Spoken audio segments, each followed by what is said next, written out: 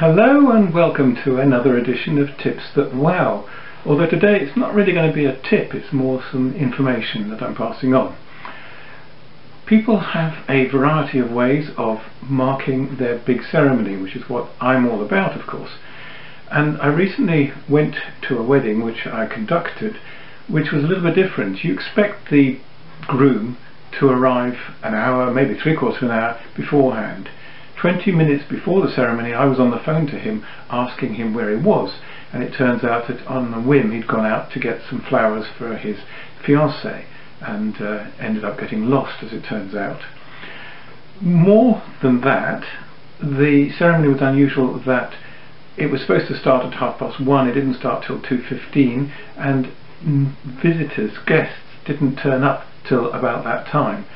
And we were expecting 20 or so, but actually only five turned up and a couple more drifted in during the ceremony.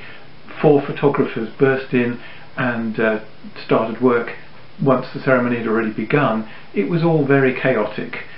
Uh, I'm glad to say that I was able to keep my cool and managed to conduct a ceremony that was very pleasing to the couple and seemed to work.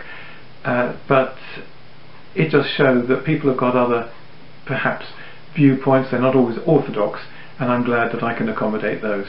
So whether or not you're orthodox, please find out more about how I might be able to help you. Thank you, and I hope you'll join me again for another edition of Tips That Wow.